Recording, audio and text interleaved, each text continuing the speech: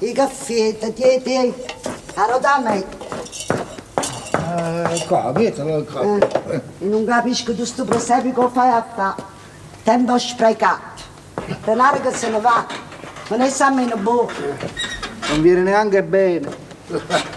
Eh già, non sapessi che non viene bene. Io ci sono stato il padre dei presepi, quando veniva Natale venivano a chiedere consigli a me. Mo viene lui e dice che non viene bene. Ehi, ehi, a me non mi piace. Edoardo ha lavorato sempre eh, tenendo presente le esigenze della gente, eh, stando attento a quello, con le sue orecchie molto grandi, a captare che cosa succedeva intorno. E quindi sicuramente questo presepe lui lo ha visto in qualche modo e secondo me anche in modo contraddittorio. Cioè da una parte questa enorme tradizione, questo enorme amore del popolo napoletano verso il presepe e quello che rappresenta. Dall'altra parte come un momento di estraneamento rispetto al contesto. Ti piace? No, Il presepio che è una cosa religiosa. una cosa religiosa con l'enteroclisma da dietro. E ma, ma- ma se quello non è finito ancora, come puoi dire non mi piace? Eppure quando è finito non mi piace, caccia fa, non mi piace, non mi piace e basta. E ma te, hai capito? Ci si chiude e ci si immagina la felicità, perché non la puoi avere fuori, non la puoi avere intorno. E questa contraddizione secondo me c'è proprio il Natale in casa Copiello, nella commedia, per cui il protagonista, pur di non vedere che cosa gli succede intorno, si chiude e fa il suo presepe, il suo momento di felicità se lo costruisce, ma paga questo con la morte. Mi piace, oh, presepio. Eh. Sì. Mi piace. Oh, eh.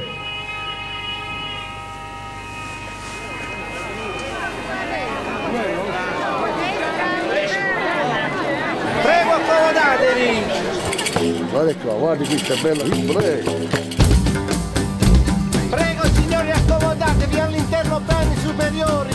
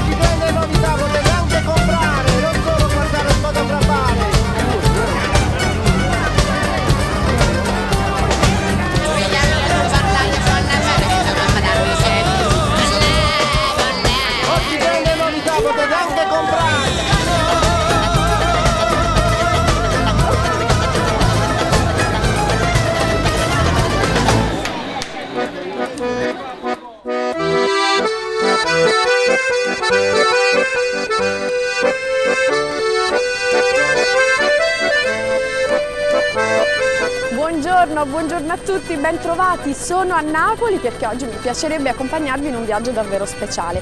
Oggi 22 dicembre, probabilmente molti di voi hanno già preparato il presepe, però forse non tutti sanno il significato che si cela dietro le statuine che animano il presepe. Ebbene, cercheremo di capirlo attraverso un viaggio in un presepe napoletano del 1700. Questo viaggio inoltre sarà scandito da tutta una serie di eh, riconoscimenti che verranno eh, dati dall'assessorato al turismo e ai beni culturali della regione Campania. Verranno dati a tutta una serie di personalità laiche e religiose che si sono particolarmente distinte nella difesa del mondo dell'infanzia. Per quale motivo? Perché il vero protagonista del presepe è il bambinello. E allora iniziamo subito questo viaggio.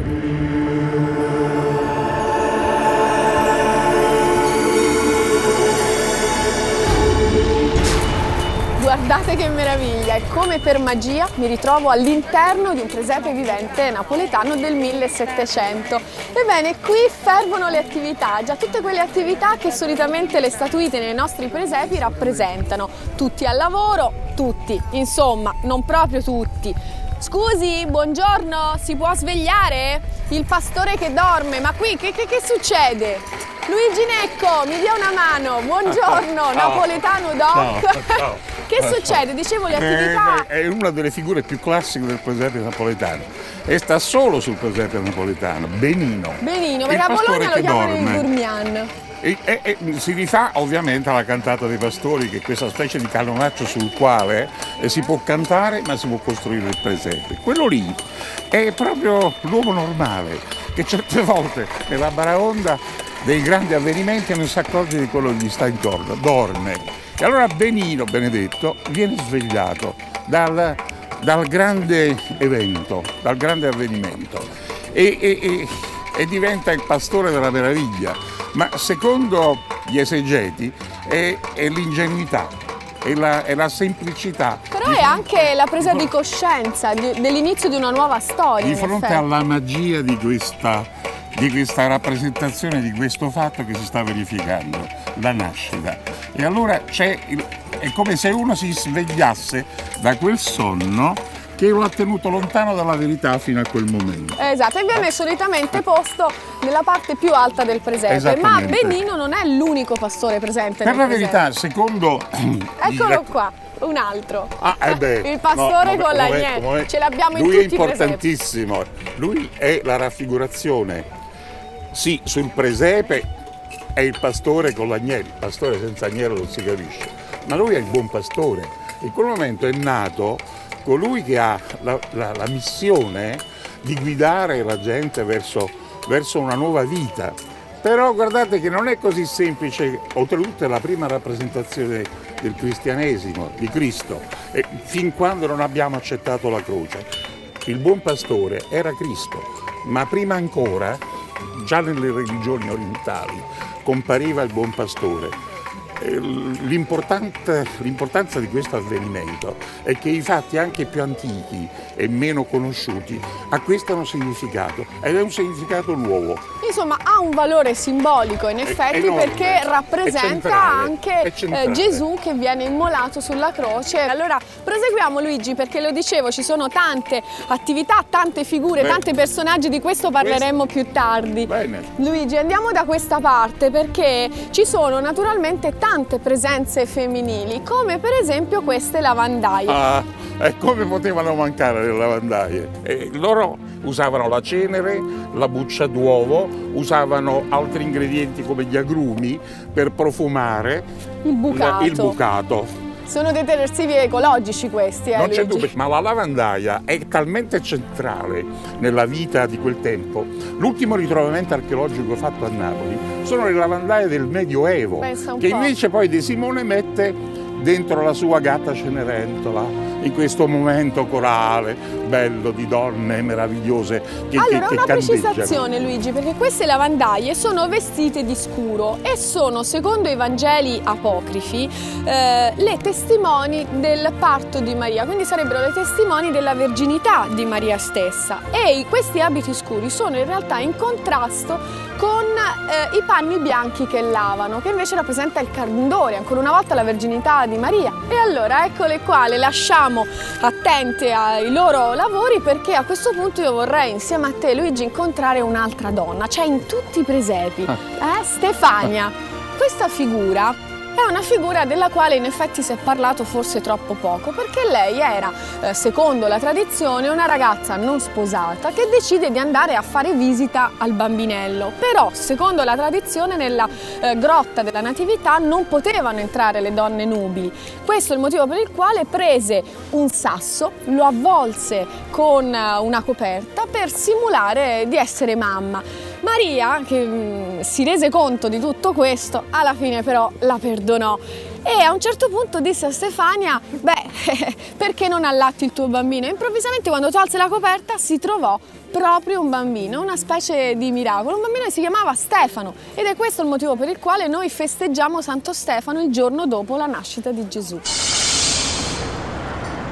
Per me è la Sacra Famiglia, lo faccio con il sughero e il cartone, la cosa più semplice, più bella, naturale. Eminenza, tante le figure all'interno del presepe, partiamo dagli ultimi, dagli umili, semplici, pastori, che significato hanno all'interno della rappresentazione? sono i destinatari di questo grande annuncio dell'umanità. Sono coloro che accolgono l'annuncio nella loro semplicità, nella loro umiltà, in quello che è anche il loro vivere quotidiano. E di fronte all'angelo che annuncia la nascita di questo bambino, non pongono ostacoli e diventano i primi spettatori di questo evento che ha cambiato la storia. Io il presepe lo faccio col sughero, naturale. la ciorta congrata contraria ma va contraria ma va sa mostra spiadata strallare ma va strallare ma fa. Bella donna, balla d'oro, palombietta, sparatino, arriviamo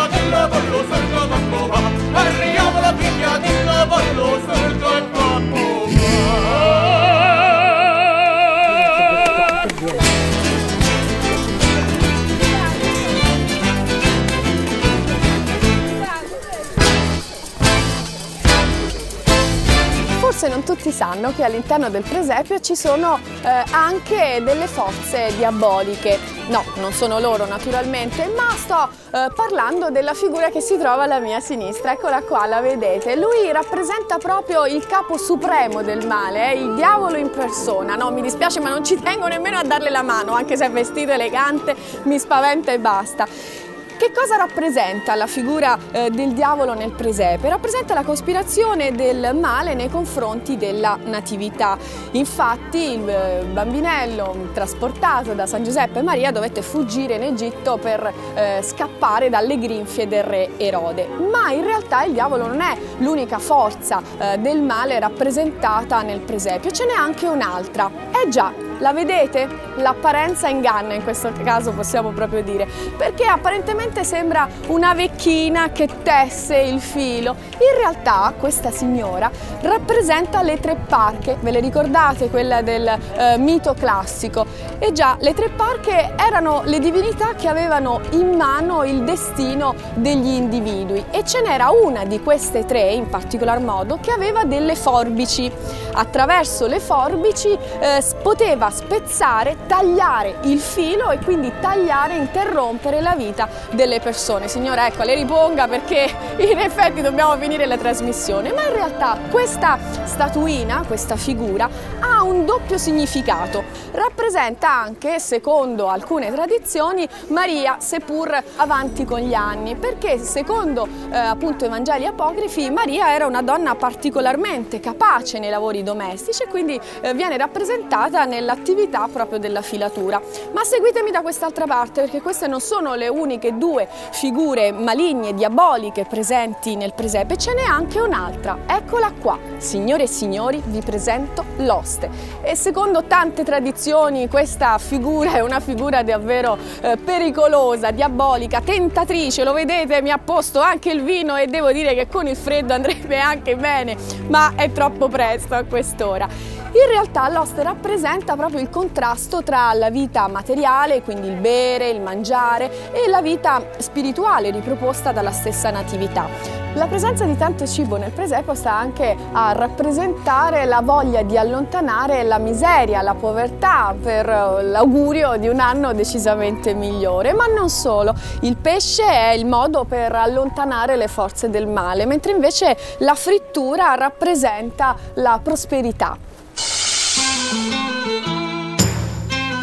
Ah, Otelma, Otel, tu che sei pittore. Eh. Qua la grotta è marina, giustamente perché siamo a Napoli. Ah, C'è una macchia d'umido, state a fare una piatta banda, una botta Eh, di pittura. una piatta banda. Hai Vabbè. rinforzato l'insalata di rinforzo? Eh, rinforzata, rinforzata, ma chi sarà da mangiare? L'incredibile Hulk. Mamma mia. E ci sta tutto, i cavolfiori, le papaccelle, olive bianche, olive nere, olio extravergine di oliva, aceto e sale cubì. Quanto Lo vedi, lo vedi che sto inorridito? Che è successo? Sono allibito te. Manca una cosa base. Mamma mia, hai ragione, ci mancano le acciughe. Eh certo che ci mancano le acciughe, sono quelle che danno sapore all'insalata. Mannaggia, brava. i maschi non della cucina non capiscono niente. Infatti non siamo maschi, siamo super uomini. Io nacqui super uomo. Tutti i grandi chef sono super uomini. Tu sei Sì, vabbè, però tutti i giorni li cuciniamo noi, a Per, voi sopravvi- uomini. per sopravvivere così, per cibarci, quando si tratta di mangiare e degustare, ci- eh, là interveniamo noi. Ui, ui, ui, ui, ui, devi addormentarle sul cavolo, Sì. dolcemente, Senti, teneramente. senti un poco, capo, Bravo, eh. capo, ma perché si chiama insalata di rinforzo? Perché parte il 25 con ingredienti base che sono cavolo, ulivo, caprico e bagliabella, ma poi fino a capodanno va rinforzata, rimane una cosa e tu ce l'aggiungi. Chiaramente ci deve stare armonia, saper fare, mica ci può mettere pasta e fagioli, i profiteroli, il millefoglio, no? Scusate, potrei fare una domanda, Sì. ma eh, se a uno non piace? Eh, ci sta tutto questo ben di Dio. Ho preparato il pranzo di Natale che parte baccalà fritto, capitone, pizza di scarola, mussille e friarelli, vermicelli con le vongole, zuppa santè che è proprio di casa mia, vedete là, riso, polpettine, uova, guardate che Poi, bello, scusa, brodo. c'è la maritata. Ah, no, no, no, no, per cortesia, eh, io sono un galantuomo, mai con una donna sposata. Ecco. Ah, batta- batta- ma che siamo dentro un posto al sole? Che siamo in una soppa? Ma stiamo scherzando, la maritata.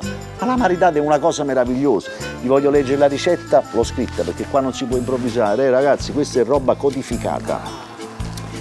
Allora, salsicce di vario tipo, soppressata, pancetta, prosciutto, muso di vitello, piede di porco. No, scusate, cos'è, una rapina? Eh, Un'altra battuta. Faccia meno lo spiritoso anche lei, per favore, eh? porco, carne secca, un orecchio, formaggio, finocchi, anice, unghie, capelli. Vabbè, ma scusa, l'anice vabbè, serve per digestivo. Secondo me comunque è meglio che ci buttiamo sul capitone fritto perché così è più leggero. Sì, sarà pure più leggero, ma non, eh, non mi dà tanto quell'impressione. Eh, Ma la vuole me. finire? Ecco là, parenti serpenti. Io ho preparato questo ben di Dio, il capitone, a parte il fatto che è una prelibatezza ed è la base del pranzo di Natale, Certo. porta bene. No capitone, no fortuna. 2008, pieno di sciagure, catastrofi. Oh, capo, scusate, qua eh, si parla di mangiare e di mangiare, ma che ci beviamo sopra? Eh, Eh, che è arrivato il sommelier, mo. È arrivata, è arrivata la sommelier. Sua eccellenza Buongiorno. l'architetto Daniela Scrobogna, chiaramente Buongiorno. dell'associazione Buongiorno. sommelier italiana. Buongiorno. Bene, vedo che abbiamo l'insalata di rinforzo. Brava, vedi, Benissimo. riconosciuto. Allora, mh, a causa della presenza di sottaceti e acciughe ci proporrei... mettiamo un eh, lambrusco. lambrusco. Metti di faccia a burro, vai là, no, vai là. no, no. Mettiamo invece un vino bianco morbido, un campano sicuramente a base di fiano o greco, chardonnay passato in barrique per quanto riguarda l'Italia. Poi vedo qui la minestra maritata, Minestra maritata. che per la sua corposità e grassezza A sito di, di pantelleria. Le orecchie d'asino si possono avere per questo Adesso mi No, informo. no, no, no, no, assolutamente no. Invece proporrei un bel vino rosso, ehm, diciamo campano, possiamo andare su anche un aglianico del Taburno, un irpignaglianico, un falerno del Mastico, se no una bella Barbera d'Asti per quanto riguarda il livello In onore di nazionale. Ornella, il Barbera Tassi in onore di Ornella e Piemontese. E che dirvi, buon Natale, no? Ce lo diciamo? Si può dire? Vuoi pietà? Buon buon Natale. pranzo, buon Natale. Che Dio vi benedica. Ma secondo te la signora è maritata? Piede di porco. C'è sempre una prima volta nella vita e oggi è la prima volta in cui ricevo un presepe. Siamo nei camerini della RAI di Domenica Inn e la Regione Campania, Assessorato Turismo e Beni Culturali, mi ha dato questo premio che è la prima edizione. Te piace o presepe? La mia risposta è sì, perché il presepe è il cordone ombelicale con la mia infanzia, il presepe erano i giorni della spensieratezza i giorni del regalo, piccoli regali, i regali che erano quasi sempre mandarini o dei melloni che si tenevano sotto il letto durante tutto il periodo eh, che andava dal settembre fino al, al Natale, appunto. Eh, quando penso al presepe penso al mondo dell'infanzia, un'infanzia che purtroppo è sempre più maltrattata, purtroppo è sempre più schiacciata. E nel mio piccolo ho fatto e continuo a fare delle cose che vanno fatte a favore dei più deboli, dei più esposti. Eh, ultimamente mi sono interessato di quel bambino calabrese, Riccardo Pio, che da quattro anni eh, viveva con questo dramma della sindrome di West che non gli permetteva di crescere, non gli permetteva di fare un- una vita normale come tanti altri bambini la fanno. Un corpo di 4 anni ma racchiuso in eh, un'anima di 4 mesi. Siamo riusciti a fare eh, tutto quello che c'era da fare e il bambino adesso si trova negli Stati Uniti, a Fort Lauderdale, che è l'unico ospedale che cura questo tipo di malattia. Quindi il mio è un appello a, a questo, non dimenticatevi e non dimentichiamoci di chi non ha la possibilità di poter fare una vita normale ed è quello il vero presepe ed è quello il vero Gesù bambino che nasce. Buon Natale a tutti, Albano. A casa mia il presepe si fa con la cascata.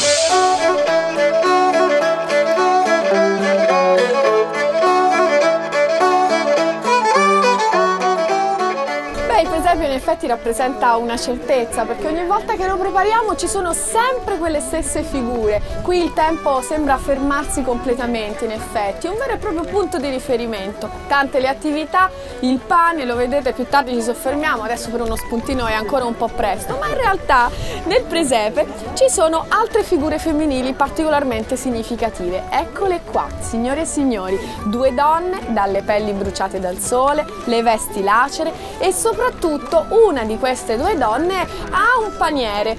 Allora, loro sono le due zingare e in questo paniere, signora, mostre... No, melodia, dov'è? Ecco qua. aspetti, aspetti. Allora, dentro questo paniere ci sono i chiodi e un martello.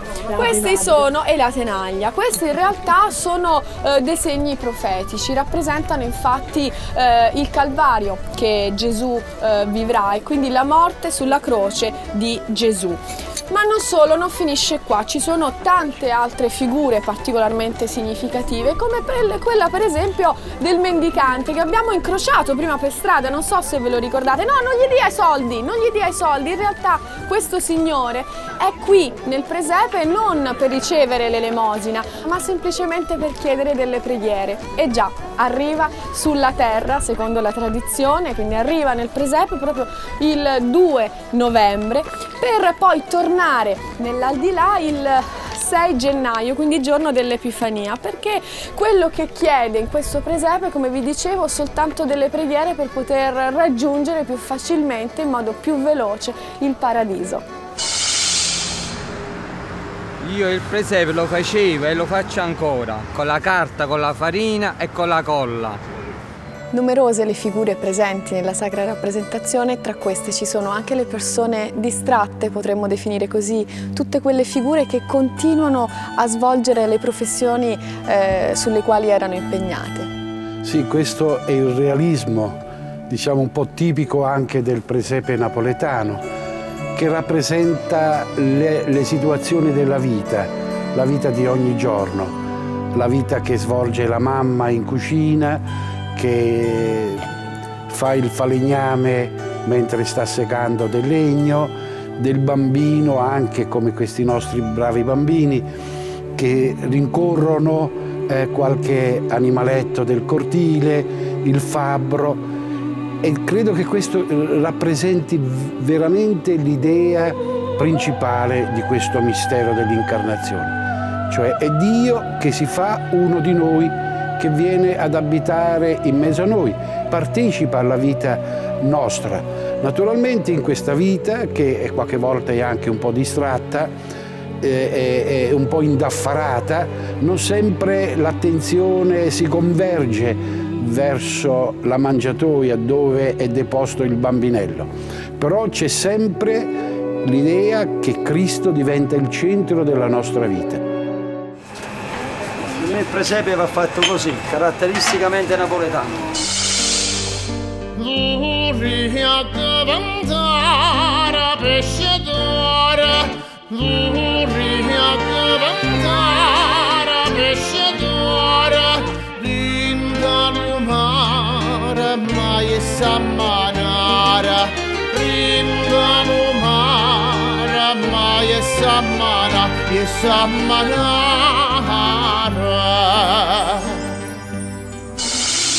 È bellissimo, veramente un- un'opera d'arte straordinaria. Quindi innanzitutto ciao Lorena Io voglio ringraziare gli organizzatori di questo bellissimo premio per aver pensato a me e avermi dedicato eh, questa cosa strepitosa, la sto guardando da vicino ed è veramente molto molto carina. Sono contento di riceverla a nome della mia piccola associazione che si chiama appunto Associazione Ezio Greggio per l'aiuto ai bimbi nati prematuri che 12 anni fa praticamente è nata e ha cominciato a donare apparecchiature agli ospedali che avevano necessità. Abbiamo aiutato circa 70 ospedali in Italia con tante apparecchiature, ogni anno divento zio eh, di, di, un sacco di bambini, più o meno attraverso queste apparecchiature sono eh, 2, 3, 400 bambini ogni anno che vengono salvati. E, e, questa cosa mi fa molto piacere, devo dire che eh, uno dei grandi successi della mia carriera è stato proprio questo di, di poter rubare un po' al personaggio pubblico e mantenere un impegno con me stesso che appunto avevo preso quando ho iniziato a fare questo, questo lavoro, cioè eh, dedicare un po' di tempo a chi aveva bisogno. Quindi grazie ancora a tutti gli organizzatori di questo premio, un grande abbraccio, eh, ciao Lorena e eh, porterò con me eh, questo premio come uno dei ricordi più belli. Grazie, ciao.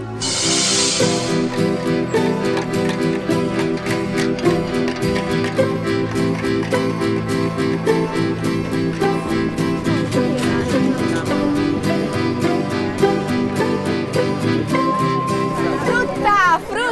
nel presepe del Settecento c'è anche tanta frutta, lo vedete, le signore nel frattempo stanno eh, facendo la spesa, non c'era lo scontrino fiscale nel Settecento, era tutto più veloce, ma la frutta, torniamo a questa, ci sono tanti tipi di frutta, le fragole, le ciliegie, anche dei frutti che non appartengono alla stagione invernale, ma sono posizionati nel presepe perché hanno una funzione propiziatoria di prosperità per l'anno che verrà. Da questa parte invece c'è il formaggiaio. Il formaggiaio nel presepe napoletano del Settecento ha una funzione simbolica molto precisa perché rappresenta lo scorrere del tempo, il suo braccio sono un po' le lancette dell'orologio.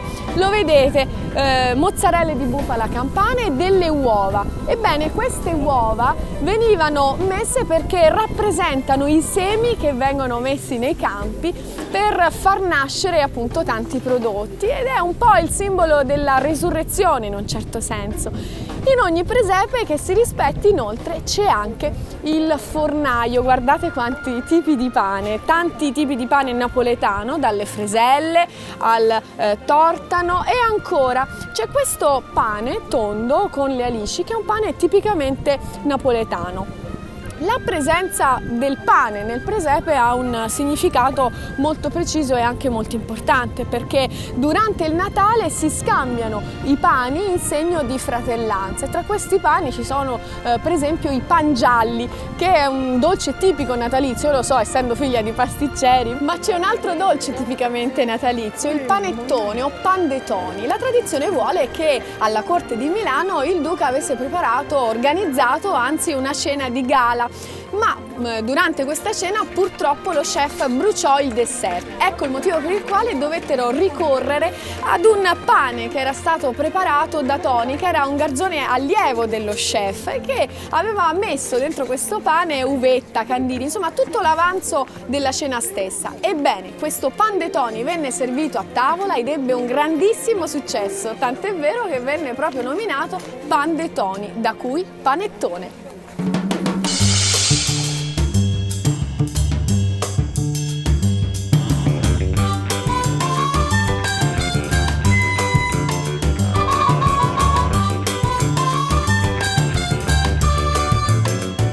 Riccardo, siamo pronti con l'ultimo impasto delle zeppole? Quasi pronti maestro, devo Bene. solo aggiungere le scorzette d'arancia. Le scorzette dopo, Riccardo, prima le friggiamo, poi mettiamo il miele, i diavolini e alla fine un po' di scorzette d'arancio. Ma, ma nel panettone le scorzette d'arancia si mettono nell'impasto. E che c'entriamo il panettone se stiamo facendo le zeppole, Riccardo? Madonna mia, proprio un piemontese mi deve capitare stamattina. Potremmo fare una variazione. Una variazione? Sì, metterei un po' di gianduia per esempio. Ma no, quel gianduia non, non va bene. Ma ti spiego la ricetta da capo, perché vedo che non hai capito niente fino a mo'.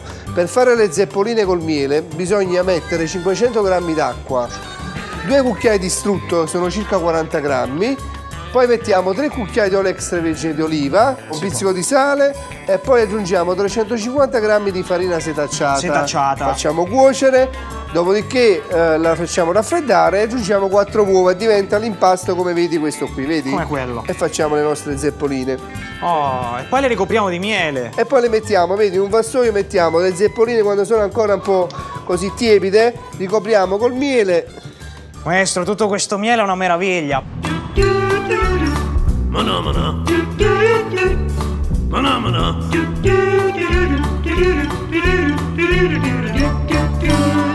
Mi tolgo una curiosità. Questi dolci qui, romboidali al cioccolato, questi qui, come si chiamano? Cosa sono? Questi sono i mostaccioli, i famosi mostaccioli. Mostaccioli? Sì, Ho capito perché conosci? si chiamano così, eh sì, ma so anche perché si chiamano così. Perché quelli quando si mangiano lascia dei baffi, dei, qua, dei Ma che mustacchi di c'entrano i cioccolato. baffi, Ricca? I baffi, i mostaccioli. I mostaccioli si chiamano così perché quando i contadini all'epoca li facevano, mettevano nell'impasto del mosto d'uva. Maestro, una Sì. curiosità, ma questi qui che hanno questo profumo, cos'è? I questo? roccocò Ah. sono le spezie che profumano così. È un dolce del 1300. Ah, ecco perché sono un po' duretti.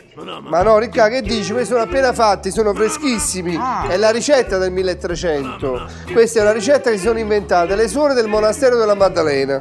Senta, maestro, l'ultima curiosità.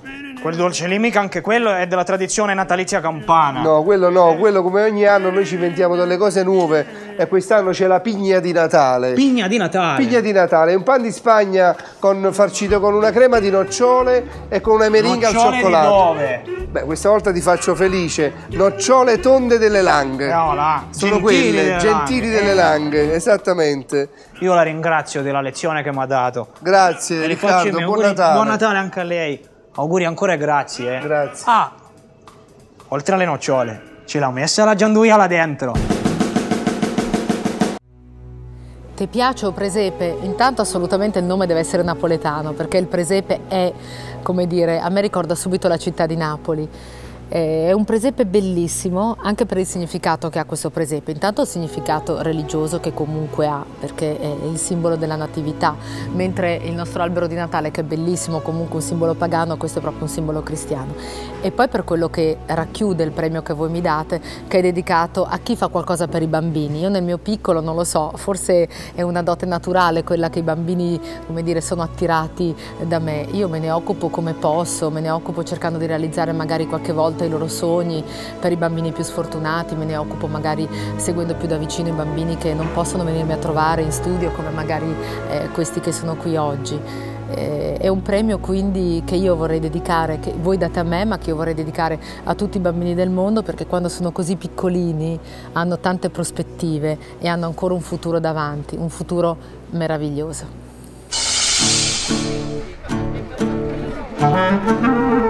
E Thank you.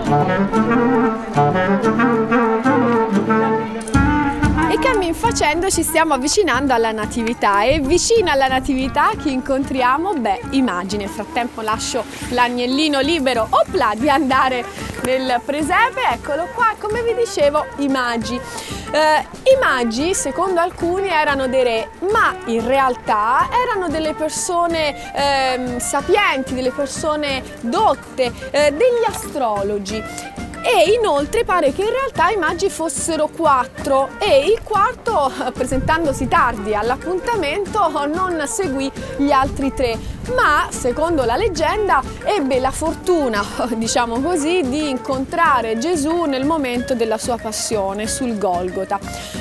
Dicevo i magi, conosciamoli meglio. Intanto da questa parte abbiamo il maggio Melchiorre. Melchiorre che porta l'oro e l'oro è proprio il segno della regalità Eh, e ehm, invece a seguire abbiamo il maggio giovane che eh, si chiama Gaspare e porta l'incenso. L'incenso è una resita che serve proprio per l'adorazione. Volevo precisare un altro elemento che il nostro primo maggio ha la barba bianca perché questa barba sta a simboleggiare l'età adulta delle persone. Il maggio giallo, il maggio dorato, il maggio moro, piacere Bianchetti, Baldassarre arriva eh, dall'Africa e lui porta invece la mirra e la mirra è proprio il simbolo dell'umanità. Il maggio Baldassarre ehm, rappresenta l'età adulta della persona umana, ma dietro i magi, in molti presepi, c'è un'altra figura particolarmente significativa. La accogliamola, eccola qua, e arriva con questo suo passo regale perché abbiamo la Georgiana. Si chiama così perché appartiene alla Georgia, quindi alla regione del Caucaso, e eh, particolarmente significativo è non soltanto l'abito particolarmente elegante, ma anche un gioiello che indossa, lo vedete? Un gioiello con un'arma. Questa è un'arma turca. Insomma, si fanno tanti incontri in questo presepe napoletano del 1700 e dai fasti dei magi, dagli abiti eh, fastosi dei magi andiamo anche a un signore che vende le caldarroste. Ora, perché siamo nel 700, ma altrimenti se fosse ambientato ai giorni d'oggi, se si mettesse vicino al cinema farebbe degli affari d'oro, secondo me. Il presepe lo faccio con il sughero, dopo con la farina per fare la neve, pastori, poi dopo con le luci, tutto illuminato. I Re Magi, Eminenza, sono eh, ulteriori figure caratterizzanti della sacra rappresentazione. Qual è il significato della presenza di queste tre figure? Ma io credo che rappresentano principalmente due dimensioni, due aspetti fondamentali.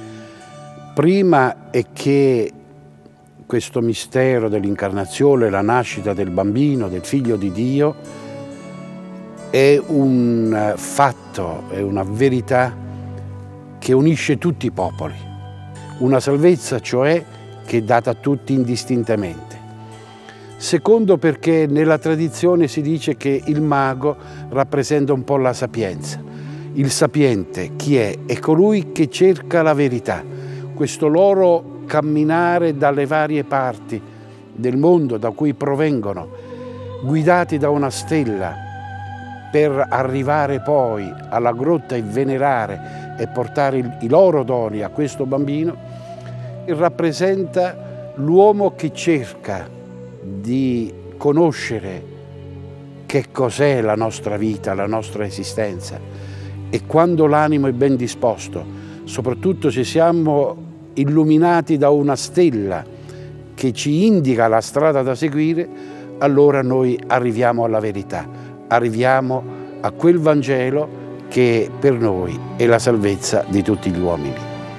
Ricevere come premio un presepe ricorda sempre che Dio abita ai territori dell'umano, territori dell'umano che io ho conosciuto attraverso l'opera grandiosa di Suora Adele, una suora campana che vive in Brasile, a Salvador de Bahia e aiuta i bambini che hanno entrambi i genitori in carcere, certo con l'aiuto dall'Italia, una piccola associazione, La Prima Pietra. Che cosa fa Suora Adele?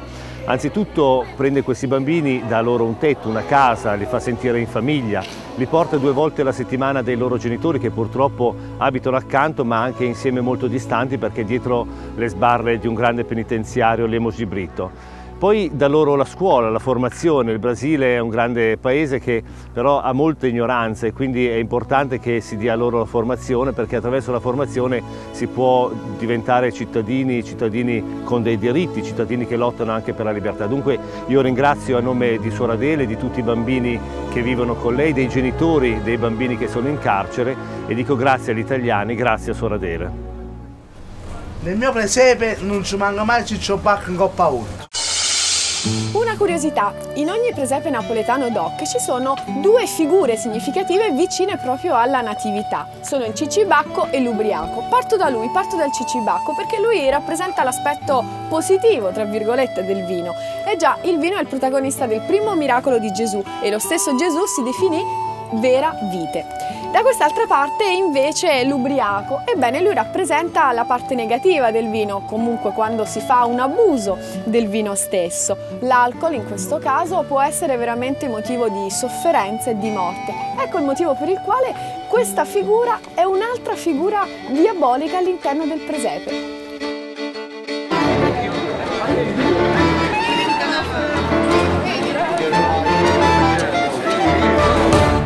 Uno dei maestri di San Gregorio a me, uno che apparteneva a una grande famiglia, si occupò di me perché sapeva che ero interessato a entrare in questo mestiere. E lui mi disse una battuta, disse guarda per fare i pastori devi fare come ti dico io. E fu il primo momento in cui ho capito come fare i pastori, perché la mia risposta fu no, se io devo fare i pastori, li devo fare come dico io.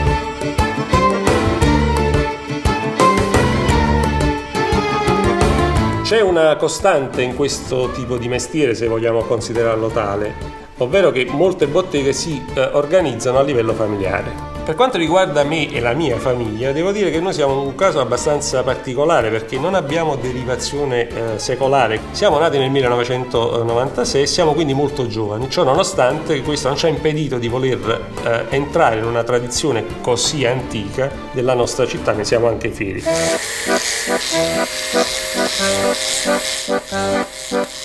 Così io con Manuele eh, mi occupo del modellato dei pezzi, mia moglie si occupa della pittura, dopodiché eh, il prodotto passa agli altri miei fratelli, cioè Lello, Susi e Anna, che si occupano poi della parte finale, cioè della vestizione.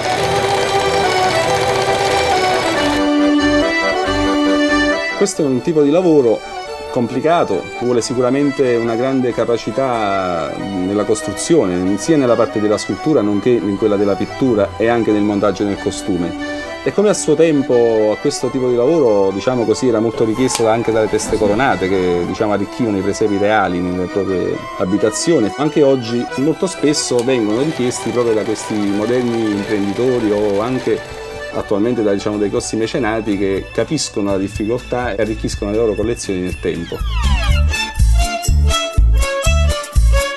Il nostro rapporto con la tradizione è emblematico perché noi partiamo da un concetto di fondo che il presepe napoletano non è tradizionale, tra virgolette, cioè già nel Settecento è moderno e rivoluzionario, perché i napoletani si inventano questa cosa meravigliosa, cioè di accostare all'intoccabilità della rappresentazione sacra la vita di tutti i giorni. Nel 2005 presentammo ad esempio eh, Ufumanel, praticamente questo personaggio che è stato sempre eh, evitato nella rappresentazione, noi l'abbiamo inserito perché ha un- anche una forte simbologia. Ecco, in questo c'è il nostro rapporto della- con la tradizione, una specie di eh, tentativo di eh, rinnovarla un po' violentandola, ma comunque non uscendo fuori dai, dai canoni.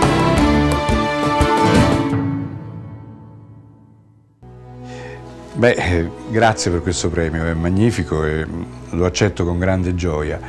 Eh, mi è stato dato perché faccio parte di un'associazione che si chiama Nisida Futuro Ragazzi e che si occupa dei ragazzi a rischio napoletani. È un problema che tutti a Napoli conosciamo e che viviamo giorno dopo giorno e in qualche modo ci coinvolge tutti quanti. Tentiamo nel nostro piccolo di, di affiancare eh, la problematica di, di- di essere utili, eh, raccogliendo un po' di soldi, da- mettendo il nostro nome a disposizione per poter ottenere eh, dei piccoli risultati. Nel tempo abbiamo capito che mh, è difficile fare le grandi cose perché è- è- ci vorrebbe troppo e non siamo capaci. Tentiamo di fare le piccole cose perché una goccia, un'altra goccia, un'altra goccia e lentamente si ottengono dei risultati. Ecco, questo è il nostro obiettivo, il nostro scopo. Tentiamo di essere, mh, diciamo, utili anche noi nel nostro piccolo alla società e a questi ragazzi che sono il nostro futuro. Wannana satani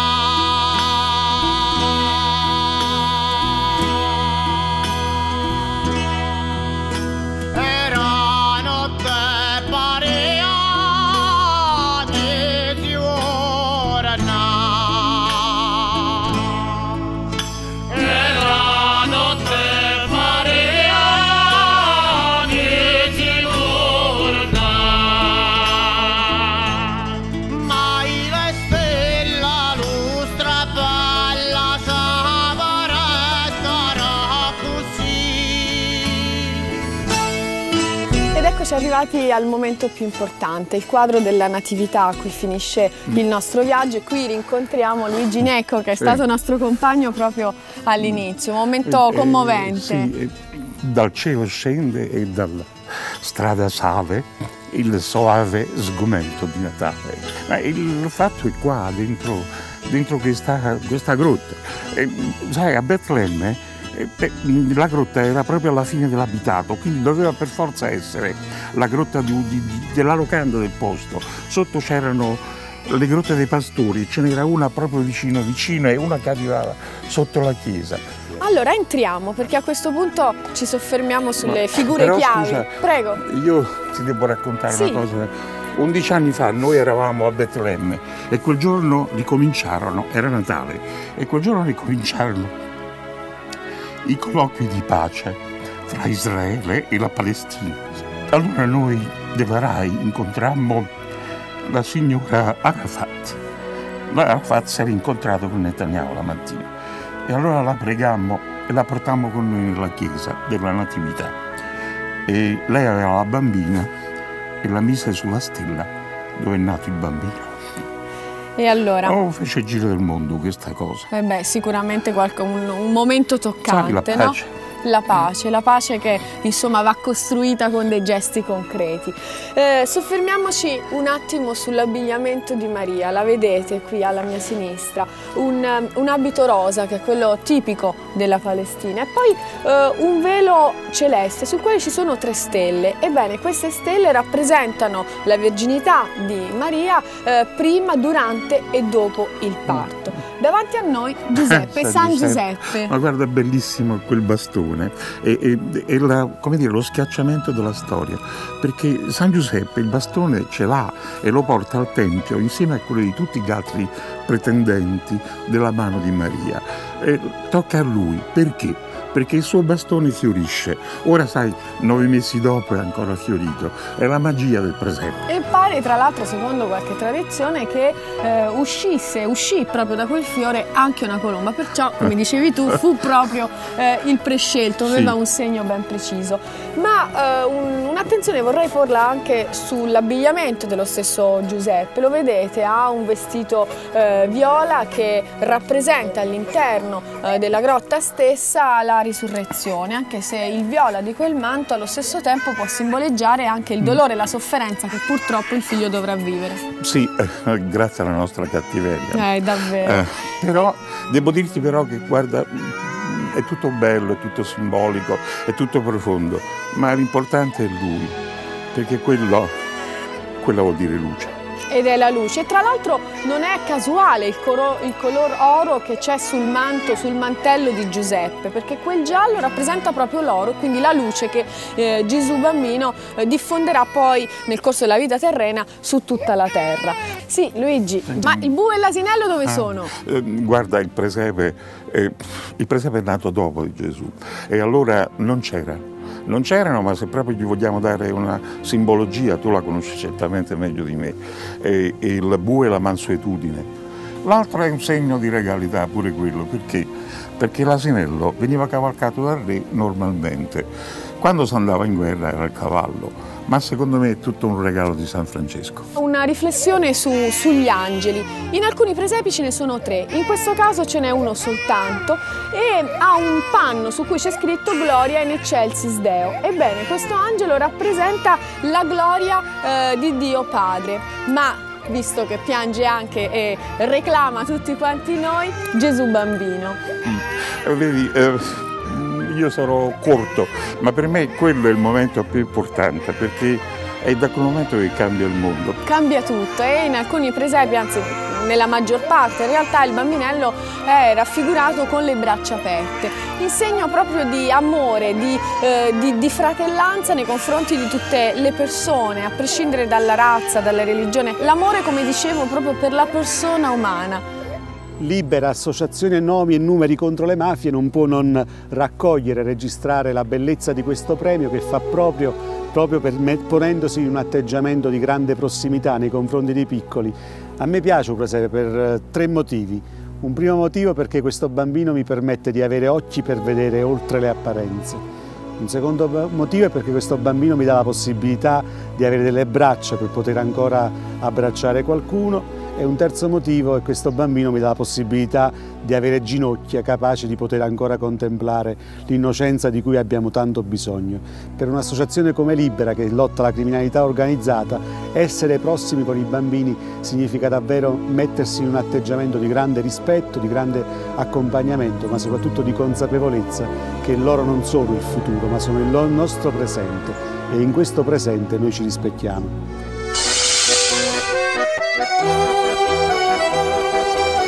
Qua, fine del nostro viaggio. Luigi Necco, grazie. Eh, anche la neve. E beh, come in ogni Natale che si rispetta. No, sono io che ringrazio voi perché, eh, vedi, ehm, il presepe non è soltanto i grandi scultori del Settecento, gli artisti, i bellissimi, bellissimi pastori, i re, la, borghesia, questa vita buttata sul presepe, no, eh, il presepe è la tradizione. Allora, con Marco Di Lello, l'assessore regionale al- ai beni culturali, eh, spesso noi ricorriamo a cose anche semplici, ma che perlomeno ci permettono di, perlomeno di tentare di non uccidere qualcosa che ha ancora qualche messaggio da mandare, magari semplice. Buon Natale. Auguri, grazie Luigi e allora che sia veramente per tutti quanti voi un Natale eh, di pace e soprattutto un Natale di amore. Auguri!